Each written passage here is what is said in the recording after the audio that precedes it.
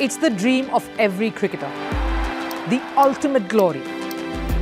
Few manage to keep their date with destiny.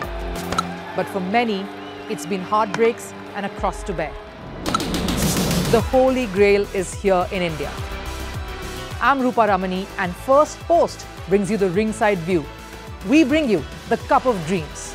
Cricket World Cup coverage like never before.